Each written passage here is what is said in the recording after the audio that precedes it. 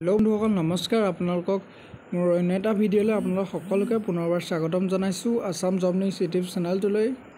এতিয়া আপোনালোকক এই যিসকল এইটৰ পৰা পাছ কৰিছে মানে যিসকল এইট এইটৰ ওপৰ হয় তাৰ তলৰখিনিৰ কাৰণে নহয় তেওঁলোকৰ কাৰণে এটা ভাল খবৰ আহি গৈছে। ইয়াত আপোনালোকৰ এটা স্কলাৰশ্বিপ দিয়া হ'ব বাৰ হাজাৰকৈ দিয়া হ'ব। এইটো আপোনালোকে সোনকালে এপ্লাই কৰক। কেনেকৈ এপ্লাই কৰিব সকলো মই প্ৰচেছ জনাই দিম মোৰ ভিডিঅ'টোত। ভিডিঅ'টো সম্পূৰ্ণকৈ চাই থাকক। এতিয়া আপোনালোকে প্ৰথম মই কেনেকৈ এপ্লাই কৰে সেইটোও জনাম। এতিয়া প্ৰথম এইটো জনাই লৈছোঁ। স্কলাৰশ্বিপটো N M M S exam two thousand twenty three ইয়াত national means cum merit scholarship.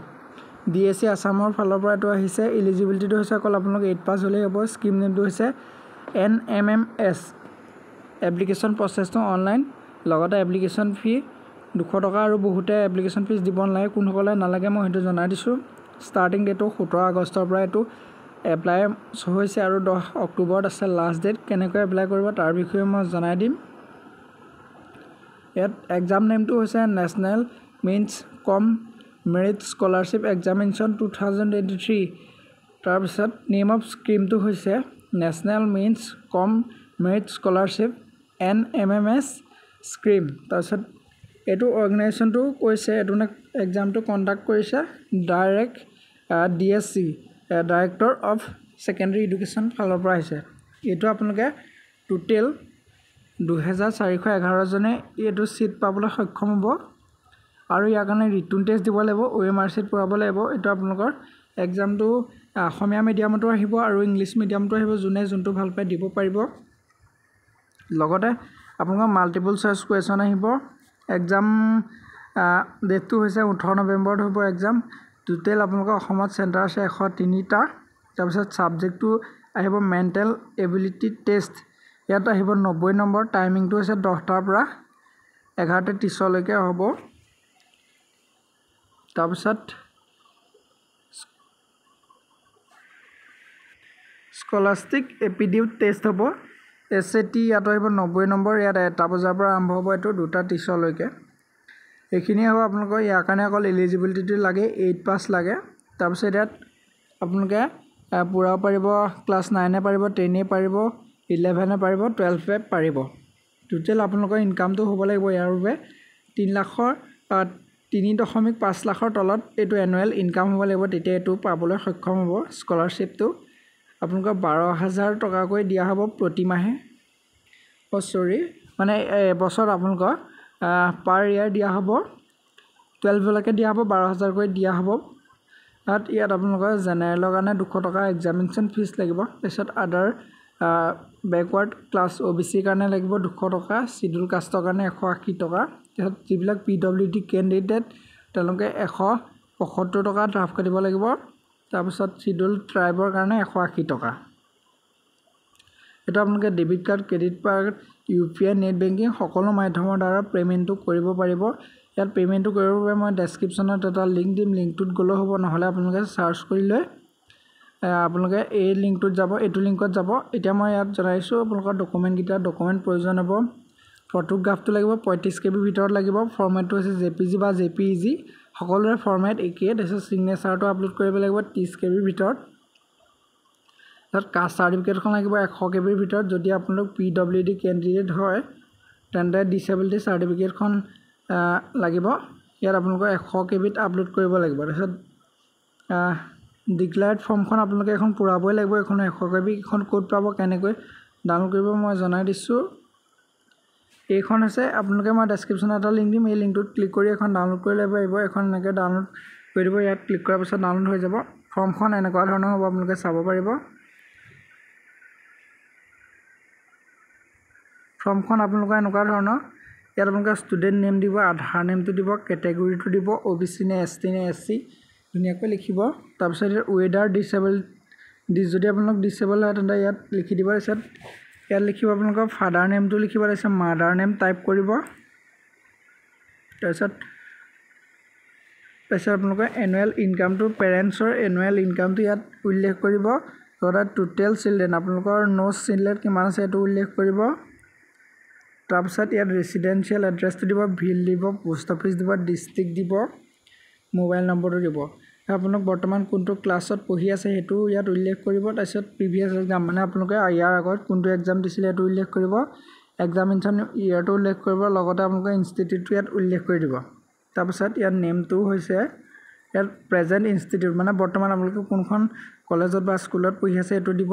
পিছত ভিলটো ইয়াত লিখিব স্কুলখন যোনটো ঠাইত আছে যোনটো ঠাইত আছে তেওঁৰ তাৰ লিখিব পোষ্ট অফিচ ইয়াত ডিষ্ট্ৰিক্টটো লিখিব পিনক'ডটো লিখিব তাৰপিছত ইয়াত জেণ্ডাৰটো চিলেক্ট কৰিব আপোনালোক মেইল নে ফিমেল নে কি ডেটটো ইয়াত দিব তাৰপিছত ইয়াত প্লেচটো লিখি দিব তাৰপিছত ইয়াত ফটো এটা আপলোড কৰিব ইয়াত যাৰ নামত এপ্লাই কৰিব এজনে চাইন এটা মাৰি দিব এইটো চাইনটো মৰাৰ পাছত আৰু ইয়াত আপোনালোকে হেড ইনষ্টিটিউটৰ নেমটো দিব নেম অফ দ্য হেড ইনষ্টিটিউটৰ নেমটো দিব তাৰপিছত কণ্টেক্ট নাম্বাৰ দিব ইনষ্টিটিউটখনৰ নামটো লিখিব তাৰপিছত টাইপ অফ ইনষ্টিটিউট গভাৰ্ণমেণ্ট মানে যদি গভ গভাৰ্ণমেণ্ট স্কুলত পঢ়িছে তেন্তে গভাৰ্ণমেণ্ট লিখিব প্ৰাইভেট স্কুলত পঢ়িলে প্ৰাইভেট লিখি দিব। তাৰপিছত ইয়াত সুধিছে যে আপোনালোকৰ স্কুলখন যদি গভটোৰ আণ্ডাৰত আছে তেন্তে ইয়াত লিখি দিব তাৰপিছত ইউ ডি চি ক'ডটো আপোনালোকে দিব। যদি আপোনাৰ গভটোৰ আণ্ডাৰত থাকে বা প্ৰাইভেট থাকে ইয়াত ইউ ডি চি এটা ক'ড ওলায় সেই ক'ডটো ইয়াত ফিল কৰিব। আৰু U D U D C ক'ডটো হ'ল U D I C S oh' sorry U D I S C এই ক'ডটো আপোনালোকে স্কুলতো পাব চিন্তা কৰিব নালাগে বা কলেজতো পাব। তাত ইয়াত হেডমাষ্টাৰ ইয়াত চিল কৰি দিব এইডোখৰত হেডমাষ্টাৰ চিল কৰি দিব। চিল কৰাৰ পাছত এইখন ইয়াত আপলোড কৰিব লাগিব। এই ফৰ্মখনৰ বিষয়ে গম পালেই এতিয়া মই এপ্লাই অনলাইনটোৰ বিষয়ে জনাই দিছোঁ। ইয়াত ক্লিক কৰিব মই ডেছক্ৰিপশ্যনত দিয়া লিংকটোত আহি ক্লিক কৰিব পাৰিব। তাৰপিছত ইয়াত এনেকৈ আহি যাব। আহি যোৱাৰ পাছত এনেকৈ তললৈ স্ক্ৰল কৰিব। ইয়াতো আপোনালোকে পাই যাব ইয়াত ক্লিক হেয়াৰত এইখন ডাউনলোড কৰিব পাৰিব এনেকৈ। তাৰপিছত তললৈ স্ক্ৰল কৰিব। ইয়াত আপোনালোকে নেক্সট কৰি দিব তাৰপাছত। নেক্সট কৰাৰ পাছত আকৌ এনেকুৱা এটা পেজ খোল খাব এনেধৰণে। ইয়াত এনেধৰণে এটা পেজ খোল খাব। ইয়াত মই জনাই দিছোঁ। ইয়াত দিব আপোনালোকৰ স্কিম ক'ডটো দিব তাৰপিছত স্কিম ক'ড ষ্টেটটো দিব আছাম চিলেক্ট কৰিছোঁ। তাৰপিছত ইয়াত ইয়াৰটো দিব তাৰপিছত ইয়াত চিলেক্ট কৰিব ডিষ্ট্ৰিক্ট মানে আপোনালোক কোনটোখন ডিষ্ট্ৰিক্টৰ পৰা এইটো বিলং কৰিছে এনেকৈ দিব। তাৰপিছত চেণ্টাৰ অফ টাইপটো দিব আপোনালোক কোনটো চেণ্টাৰত এইটো হৈছে ইয়াত ধুনীয়াকৈ শ্ব' কৰি যাব এইটো আপোনালোকে চিন্তা কৰিব নালাগে ইয়াত মোৰ নেট শ্ল' কাৰণে ওলোৱা নাই আপোনালোকৰ ধুনীয়াকৈ ইয়াত চেণ্টাৰটো চিলেক্ট চিলেক্ট হৈ যাব। এনেকৈ এইটো এনেকৈ ধুনীয়াকৈ চিলেক্ট হৈ যাব।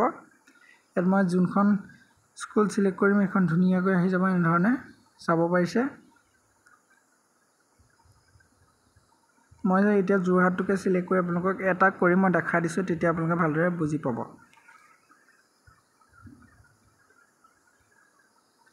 এনেকৈ হৈ যাব ইয়াত আপোনালোকে এখন স্কুল বা কলেজ চিলেক্ট কৰিব এনেধৰণে।